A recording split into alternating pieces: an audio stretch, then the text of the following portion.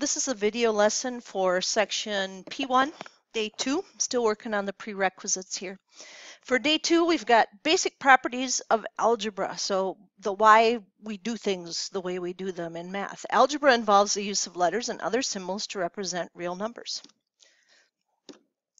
A variable is a letter or a symbol. Um, we might uh, use x, y, t, theta. Um, Greek symbols sometimes come in really handy, especially when we're talking about uh, trigonometry topics. That represents an unspecified real number. It's a placeholder. You know, variable is just that. The root word of variable is vary. It's going to change depending on what we put into it. A, constant is a letter or a symbol. For example, negative 2, 0, the square root of 3, and pi. Now, notice it said a letter or a symbol, and you can see the reasoning there. We, we want to be able to put pi in there. We know what pi is. Um, it's just that it's an approximation that we use on our calculator. And if we want our answers in terms of pi so that they're exact, then we would just keep that symbol. So that represents a specific real number. An algebraic expression is a combination of variables and constants involving addition, subtraction, multiplication, division, powers, roots. So x plus 3, that is an algebraic expression. Now, expressions do not have equals. So expressions are just a collection, some combination of the operations that we know, um, along with a variable in there somewhere. But this This is called an equation. And that's because it does have an equal symbol that is solvable. So expressions, um, that's basically where we start when we start talking about algebra is just looking at expressions and what we can do with them. The arithmetic operations of addition, subtraction, multiplication, and division, um, really, we wouldn't need to have subtraction and division. And that's because both of those are defined in terms of um, their partner here. For subtraction, it would be in terms of addition. And for division, it would be in terms of multiplication.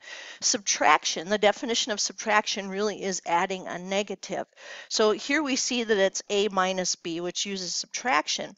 But we could write that as a plus a negative b and have that be addition. Division, a over b is A divided by B. We could change that so it's A times the reciprocal of B, which is 1 over B.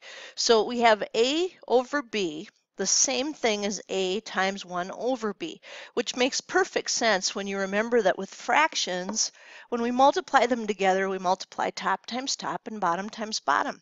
But in this case, we see we have to have a little disclaimer. That little disclaimer is called a restriction on the domain. What that means is we have to tell people, hey, there's a number you can't use in our formula because if they make b equal to zero, they will be dividing by zero. And that's something we can't do in math. You cannot divide something into zero parts. Negative b is the additive inverse or opposite of b. So fancy language, the additive inverse, um, but the opposite of b. Now why additive inverse? because it's what we would need to add to B to undo it. So you can think of B as what you have originally, and with the additive inverse, you're figuring out what do you add to undo B? Well, you'd add a negative B, and that would give you zero. 1 over B is the multiplicative inverse, or reciprocal, of B. Now, you'll notice additive inverse will give us zero when we add those together. If we take 1 over b times b over 1, which is the multiplicative inverse that we're trying to show here. So the, the inverse of b, b over 1, would be 1 over b. Notice that we would get top times top, bottom times bottom is b over b, which is 1. So we know we found the additive inverse when we can add to something and get 0. But we know we found the multiplicative inverse when we can multiply it by something and get 1. So additive inverse and multiplicative inverse a little different. Properties of algebra. Let u, v, and w be some real numbers, variables, or algebraic expressions. The commutative property is all about root words. You want to think about the root word to commutative, and that will be commute. commute means to go from home to work and work to home. So you can think of this as home to work and work to home. That's the commutative property. And it doesn't matter if we're talking about the commutative property of addition or the commutative property of multiplication, it works the same way. Home to work, work to home. The second one that we see up here is the associative property. So I'm looking for the root word of associative, and that root word would be associate. To associate with someone means it's who you're hanging out with. So I have to think, how do numbers show when they want to hang out with other numbers? Well, with grouping symbols. So this is all about the grouping symbols, which in this case would be parentheses. So first, U and V are hanging out, and along comes W. And then the next time they see each other, V and W are hanging out, and U comes along. So notice the only thing that changed here uh, certainly not the addition, it is the location of the parentheses. So associate, who do you associate with? With numbers, that would be shown by parentheses. And that's the same thing that we see for the multiplication. So associative property of multiplication, we just see, wait a minute, they changed the parentheses here. In the first one, the parentheses are around U and V, and then the second one, they're around V and W. Identitive property, well, the identitive, identity property. So identity, the identity is the number that when you're adding, you can add to another number um, and just get that same number back because identity is truly what a number is. You know, we think of identity as what a what a person is, but a number has an identity. It's its value. So if we take you and we add the additive identity, zero, we will get u right back. So zero is the additive identity. But the multiplicative identity, well, that has to be a one. Because if you multiply something by one, you're not changing the value of that number. Inverses. Inverses are how we undo things. So with addition, we would say that if you have u, you'd add a negative u to it, and that shows the additive inverse property because those will add to zero. The multiplicative inverse, well, to undo something that's being multiplied, you multiply by the reciprocal, and that gives you a 1. Notice we have that restriction on the domain here telling people, okay, you can do this, but you can't be 0 because we would be dividing by 0. The distributive property. Now notice this one doesn't have a separate one for addition and one for multiplication, and that's because the distributive property works with both. We have addition and we have multiplication.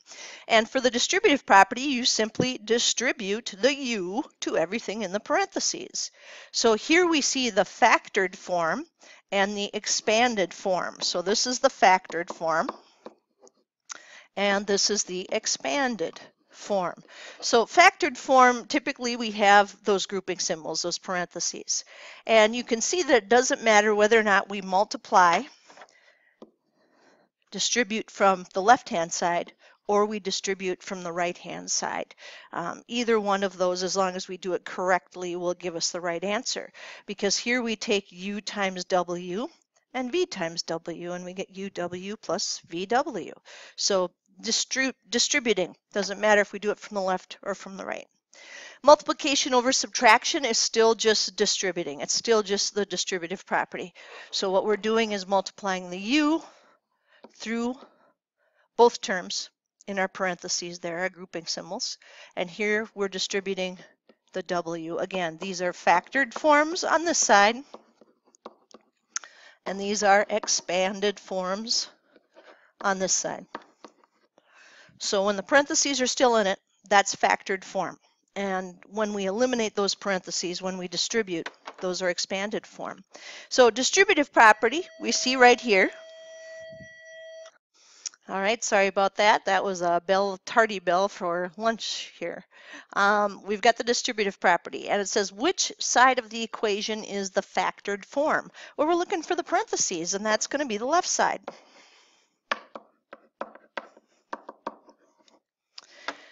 And then it says which side of the equation is the expanded form, and that is the right side.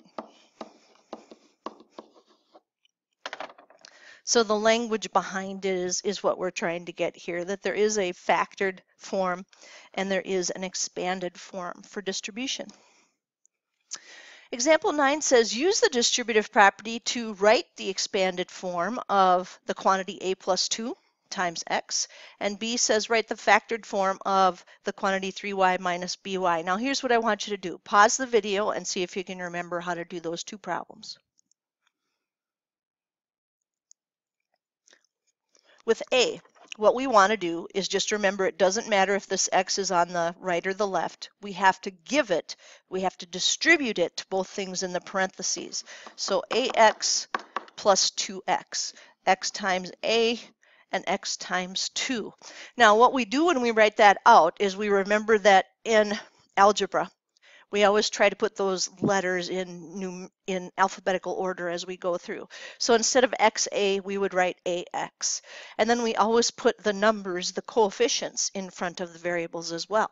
So B is a little different because we're thinking about that factored form. That means we're supposed to pull something out and have some parentheses. And we notice that there is a Y in both of these. So we'll pull out a y and say if we did that, we would be dividing both of these terms by y. So if we divide both of these terms by y, then the y's are going to cancel out and we will get 3 minus b. So what we're doing is we're showing we understand the difference between the factored form and the expanded form. And that actually is a piece of what we need to know. You know, we're talking about basic properties here. Now, properties of the additive inverse. Says let u and v be real numbers, variables, or algebraic expressions. We have a property here where we have two negatives in front of a term, a variable, and we want to know what happens, and we see it becomes positive. Well, of course it does. You know, we know that if you take two negatives and use those together, it becomes a positive. So the negative of negative 3 is just 3.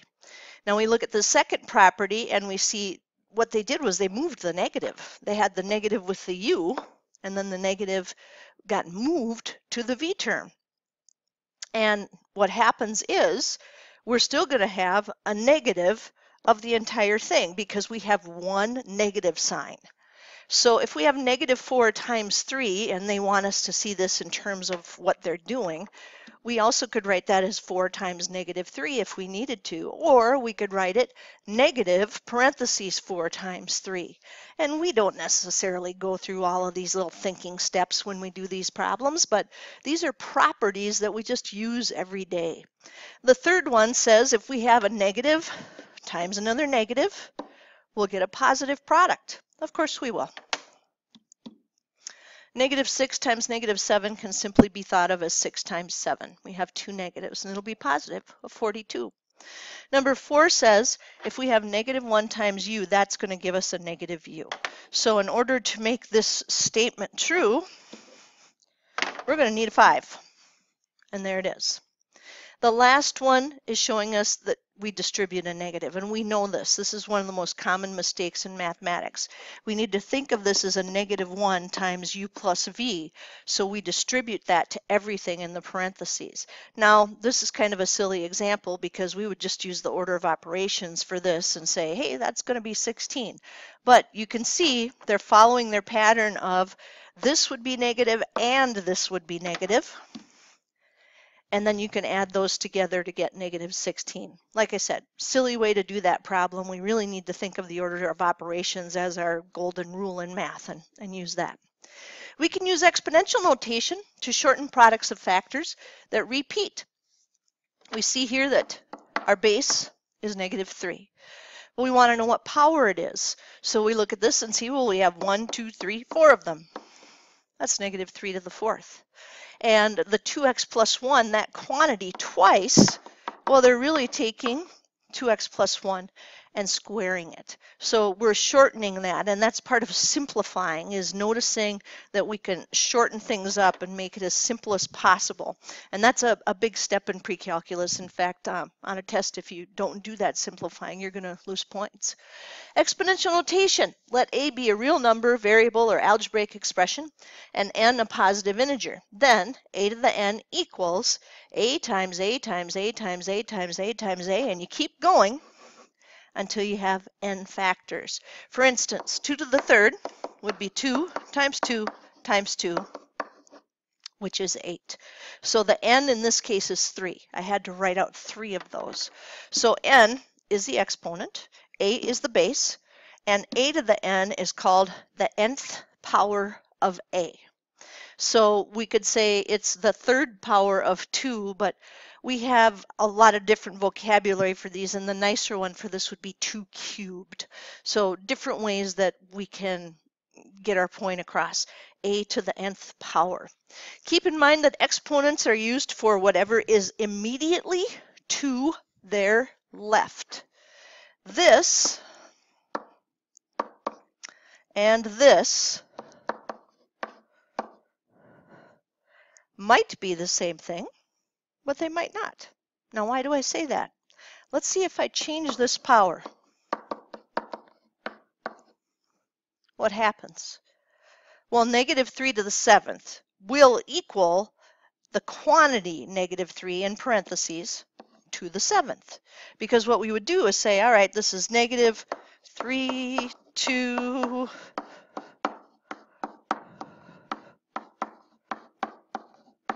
So our answer is going to be negative and then 3 to the 7th, whatever that answer may be. Negative 3 to the 7th would be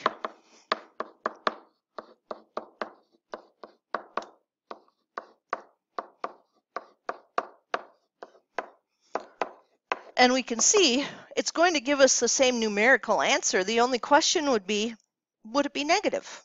I mean, because if it's negative, it's going to equal this right here. We have one, two, three, four, five, six, seven of them.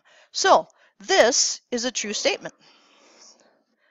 But if I square it, this becomes negative 3 times 3, and this becomes negative 3 times negative 3. And those will not give you the same answer. One will be negative 3 and one will, I'm sorry, one will be negative 9 and the other will be positive 9. So in example 10, I want you to go ahead and fill this out to the best of your ability. Go ahead and pause the video and see what you can do with it. The base for A is negative 3.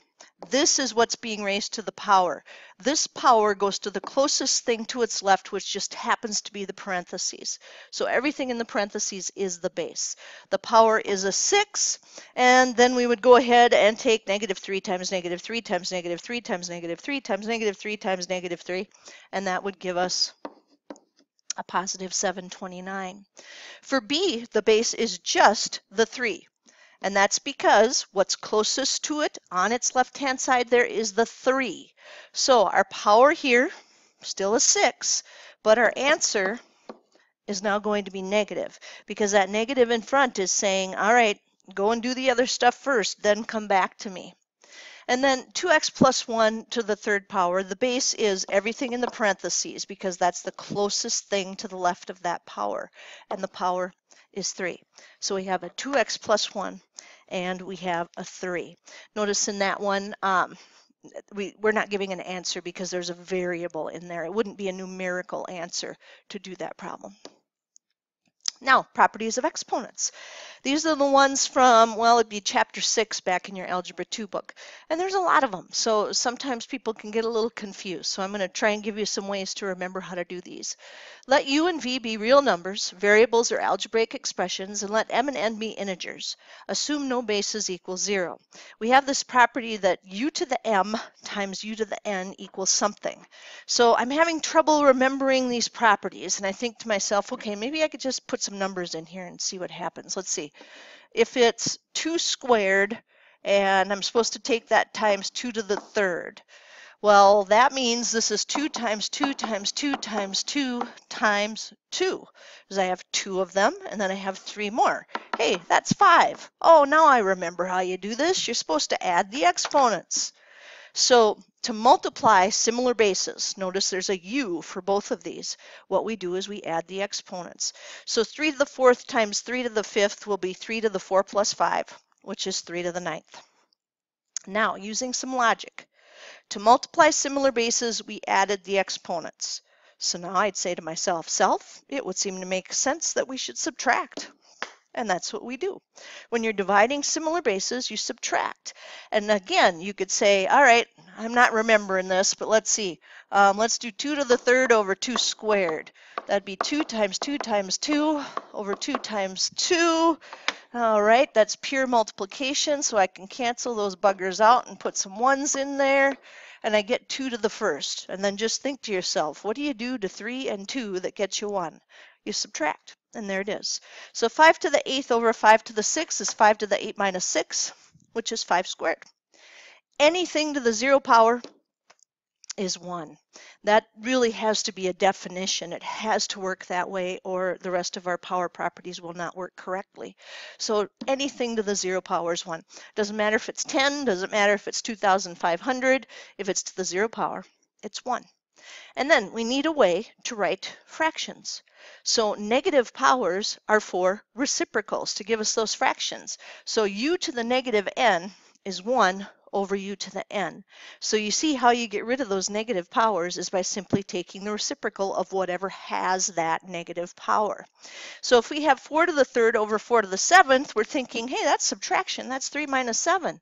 But uh-oh, that's a negative power. So that means we'll have to put a 1 on the top and a 4 to the fourth on the bottom. Reciprocals is what negative powers are for. u to the m to the nth power. All right, well, let's see here. If it's 2 squared to the third, that's going to be 2 squared times 2 squared times 2 squared. And we know that when you multiply similar bases, you add the exponents. So then think, what can you do with 2 and 3 that would get you 6? Well, you'd multiply. So to raise a power to a power, we multiply. m times n. So 8 to the 7th, all raised to the 6th power, would be 8 to the 42nd power. Pretty big number there. So when we raise powers, bases to a power, what we're going to do is think about, all right, how fast is this going to go up? You know, um, if we're looking at simple multiplication, then it's addition. But if it's raising a power to a power, it's multiply. So we can use it as distribution. We see that there are two um, variables inside these parentheses, but the good news is it's pure multiplication inside those parentheses. There's no addition or subtraction taking place there. So when it is pure multiplication or division, then we can distribute that power. So when we look at the 3x squared y, that quantity to the third power, that means the 3 will get the power of 3. Because those are considered to be little ones if there's not a power there. So 3 times 1 would be 3. 2 times 3 will be 6 for the x, and 3 times 1 would be 3 for the y's. So we can distribute. Now notice I said if it's pure multiplication or division inside those parentheses, we can distribute. And that's because remember, division can really be written as multiplying by the reciprocal. So those properties will hold. So with two-thirds the quantity to the fourth power, we would just distribute that 4 to both of those. Now, radicals. Here's the really important thing to remember with radicals. This index always goes to the denominator, the bottom of your fraction power, your rational exponents. Remember, rational, the root word is ratio. So if we make this into a fraction power, the m has to go on the bottom. So this is going to be u to the n over m. So if we have the cubed root of 5 to the fourth, that 3 has to go to the bottom, and that's going to be 5 to the 4 thirds. That can be written as, because we want to put it back into that radical form. If a problem initially comes with radicals, you want radicals when you get done. So we'd say, all right, well, this is my index because it's on the bottom, so it'll be the cube root of 5 to the fourth. Down on the bottom here, we see v over the mth root of u to the n, and that equals v times u to the negative n over m. Now, how did they make that little jump? They did this. They said, okay, this would be v times 1 over the mth root of u to the n. And this is a reciprocal. And remember, that's what negatives are for. So they just changed that to a negative and said the m has to be our denominator for our fraction power. So 5 over the cubed root of 6 squared, using this property gives us 5 times, well, this would be, because that's a 3, 6 to the 2 thirds. Well, if that's a 2 thirds and we need to flip it, that's going to be 6 to the negative 2 thirds. So a lot of properties that we're seeing here for exponents, things that you did use in Algebra 2, it's just been a while since you saw them. Some thoughts. Rewrite radicals as rational exponents. Always easier, and I know this sounds like it's not going to be easier, but it's always easier to work with fraction exponents than it is with radicals. So we'll change those into fractions, do the math that we know we're supposed to do, but in the end, change the, the answer back into that radical form, and that's because if you're given a problem in radical form, you need to give the answer in radical form. Don't work with decimals. Rational numbers are easier. Fractions are easier than decimals. Um, easier to understand, uh, but also more perfect. Um, it's called an elegant answer. We want to have our answers be as true as they possibly can be. There is usually more than one correct way to solve the problem. Yeah, absolutely. Um, quite a few times, especially when we approach word problems, you can certainly read through the book and see how the book is going to approach the word problems, but I may approach it differently um, because I'm assuming that, you know, if word problems are a problem for you, an issue for you, that you need to see it a different way. Don't skip steps. We need to see every single step that you take as you go through this material so we can make sure that you're doing these correctly.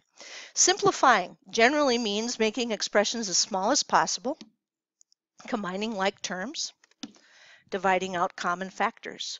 And those are things we absolutely have to do in pre-calculus. You know, it, it's just assumed that no matter what, you're going to simplify your answer. Always rationalize the denominator. Remember, we cannot leave radicals in the denominator of our fraction. Simplify all radical expressions, looking for perfect squares. give you an example of that. The square root of 50 has a perfect square in it. It's 25. Don't leave your answer the square root of 50. You're going to lose a point there for a point or two for not simplifying that square root of 50 to 5 square roots of 2. We know about that process and we need to use it.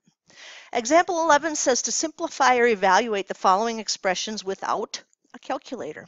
Okay, well, I look at A and I'm thinking to myself, self, this is just multiplication. So I'm going to take the number part times the number part. And then I see I have two bases. I have an A and I have a B. And I think, okay, what am I supposed to do with those if I want to multiply similar bases? Well, I add the exponents. And I remember that this would be a little imaginary a to the first. So I have an a to the first and an a to the second for a grand total of 1 plus 2, which is 3. b to the third and b to the fifth, 3 plus 5 is 8. And there's my answer, 10a cubed, b to the eighth. b, hmm. I look at this problem and I think, okay, Overall, this is just division, and division is subtraction. So let's see what happens if I subtract my exponents. 2 minus a negative 1, well, that's actually going to be 3. Negative 2 minus 3, well, that's going to be negative 5. But then I remember I cannot leave negative exponents. So that means I have to put that down on the bottom since it's a reciprocal. I have to flip it, but I don't flip both because the 3 does not have a negative. Just the v had a negative power, and powers only go to the closest thing next to them on the left-hand side. So that would be u cubed over v to the fifth. C, got a couple of things going on here. First of all, I see there's there's multiplication, but I have a power. So the order of operations says I should do that power first. And I notice it is just multiplication in here, so I can distribute that to everything. And when you raise a power to a power, you multiply little imaginary ones in those two positions. So I have this times, and then I see, well, this one has radicals in there. And it said whenever we have those radicals, let's change that into a fraction power. So this is a little imaginary 2 in here, because when the radical doesn't have an index, it's assumed to be a square root, which is a 2. So I'd have a to the 1 half, because this is a to the first, and that 2 is always going to go to the bottom of my fraction. And then b to the 5 halves. Now, I know that 2 squared is 4.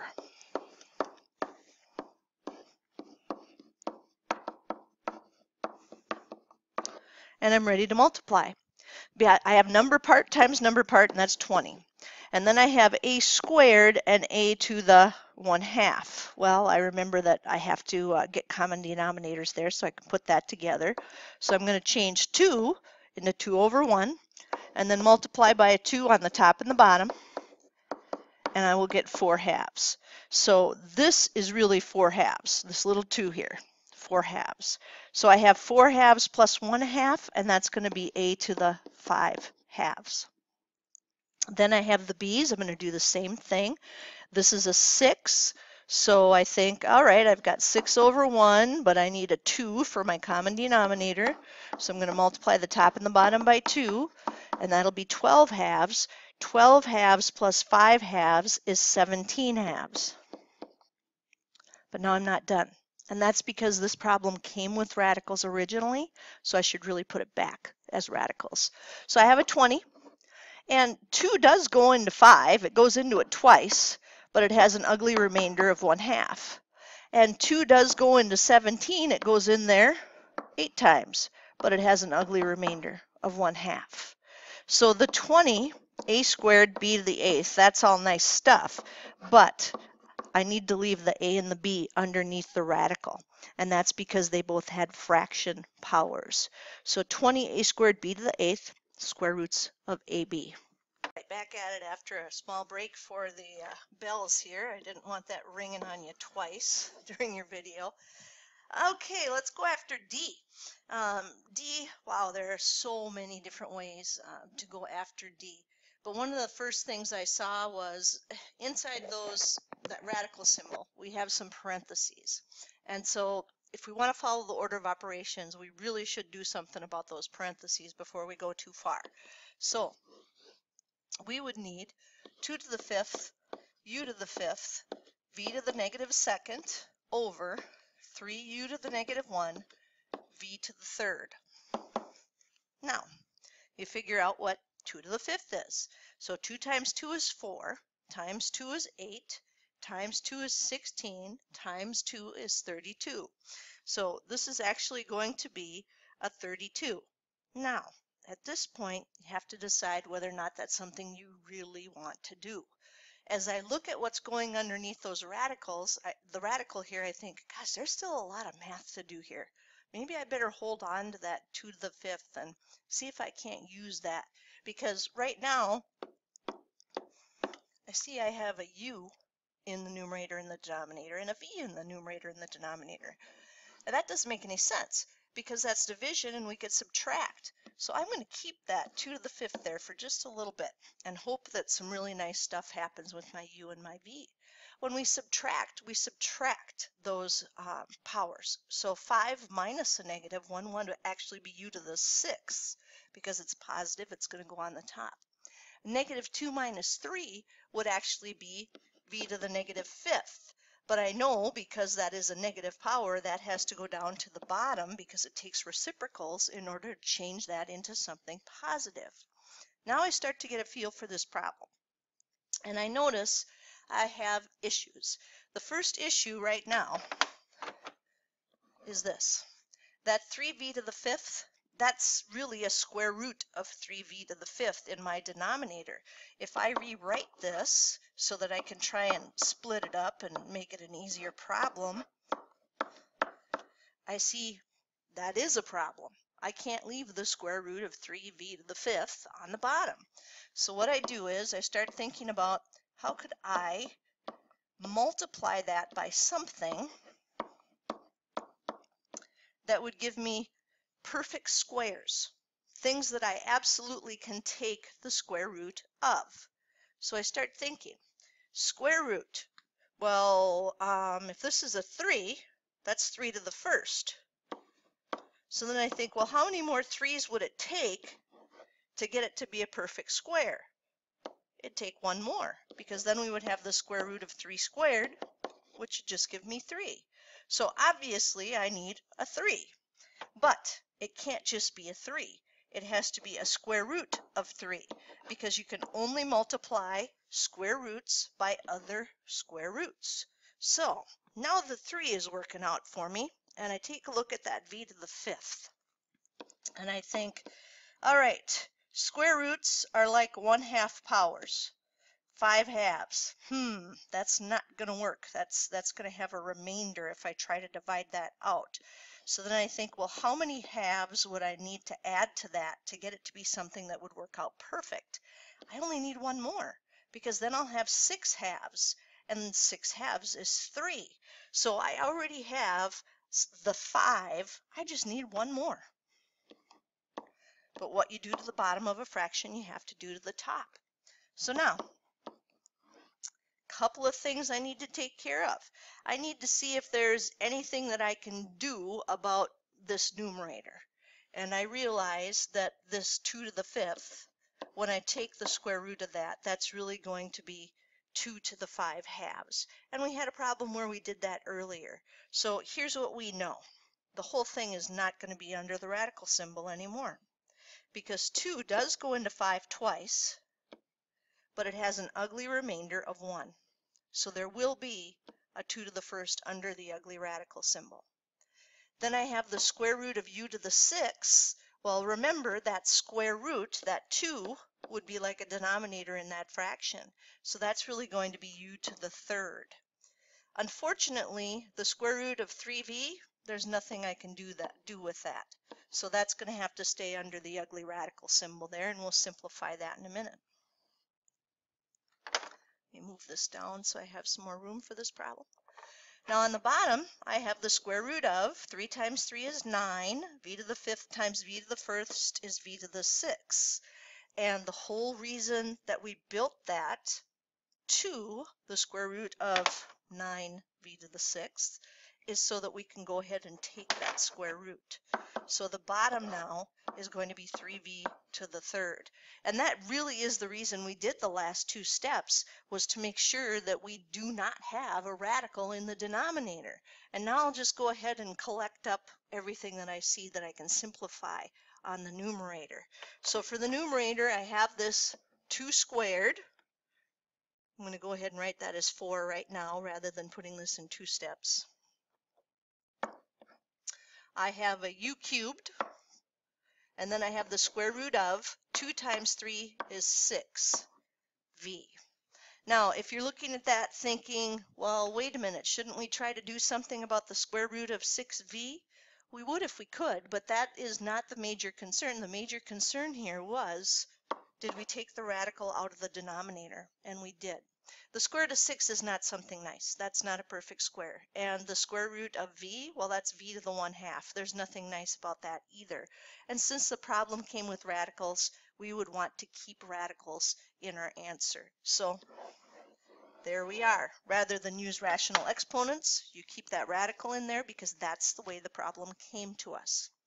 All right, 16 to the 3 fourths. Well, that seems pretty basic. Well, here's what we want to do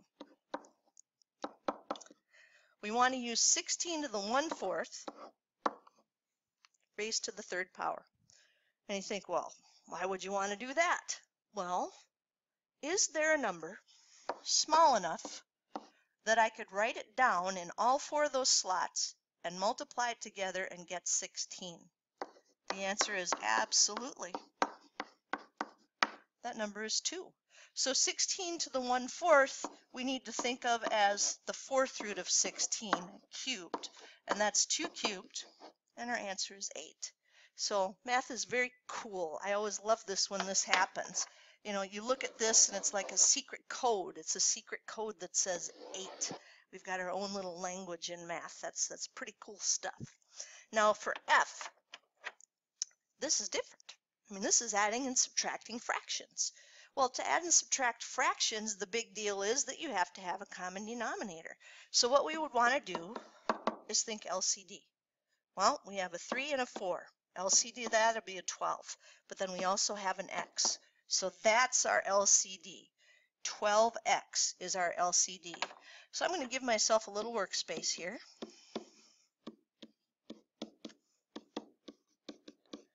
And then build these fractions up so that all the denominators are going to be 12x.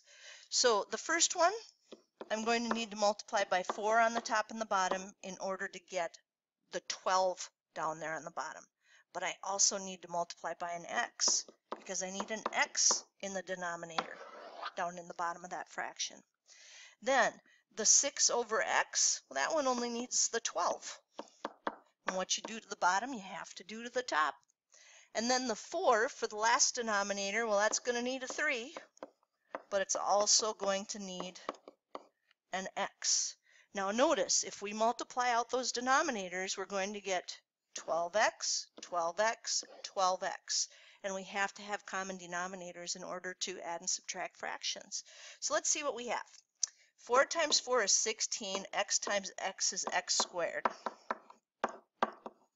over 12x minus 6 times 12 is 72 over 12x plus 2 times 3 is 6, x times x is x squared over 12x. And then the last thing we would do is we would check to see do we have any like terms? Can we combine some like terms? And these two are both x squared terms. So we can take 16x squared plus 6x squared and get 22x squared over 12x minus 72 over 12x. And then we realize, well, what we're really trying to do is get all of this over the top of one denominator. So we'd write 22x squared minus 72 over 12x. But then hopefully we notice, wait a minute, all of those are even numbers. I wonder if I can't do a little canceling here. Let's see. If I take a 2 out of my numerator, it'll look like that. And on the bottom, I could write this as 2 times 6x. And then, because I see pure multiplication here, I can go ahead and cancel those out and make them ones. That is how we simplify. And that's because in order to cancel, canceling is a form of division. In order to get rid of something that needs to be divided, you have to see multiplication. So we had to factor that out so that we could see the multiplication before we could go ahead and uh, finish up this problem. Now this one also brings me to thinking that we should really tell people that there's a domain restriction here x can't be zero. But your book isn't necessarily throwing all of that in at one time, so um, I won't do that because technically we should do something about the radicals that we had there too, but we'll just go ahead and leave it at, here's the answer, right here, 11x squared minus 36 over 6x we have another topic here that was part of our objective, and that is to convert between scientific notation and decimal form. We have to be able to go back and forth. So scientific notation, once you have a good handle on it, um, you know, is, is not the most difficult thing you've ever done, but you have to have a good handle on it. So any positive number can be written in scientific notation, and here's how we do it. We write it as c times 10 to the m but there have to be certain restrictions on C in order to make this work. And what we do is we say C needs to be such that the decimal point would go right after that C, that that C is the first number, non-zero number that you see. For instance,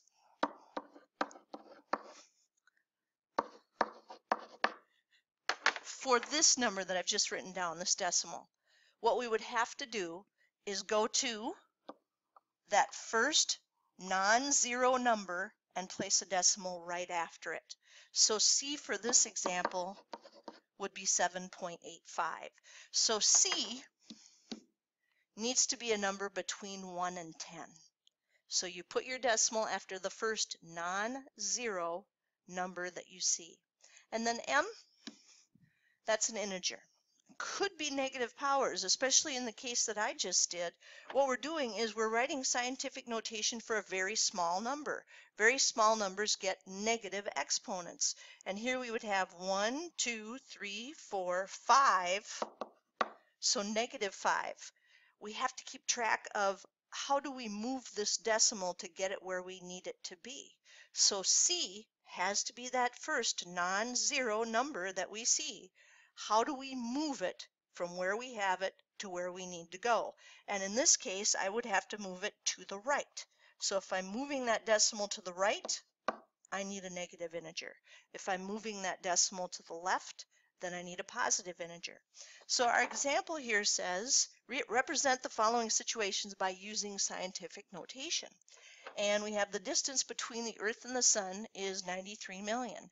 So I start looking for that first non-zero number, and I see it's the 9.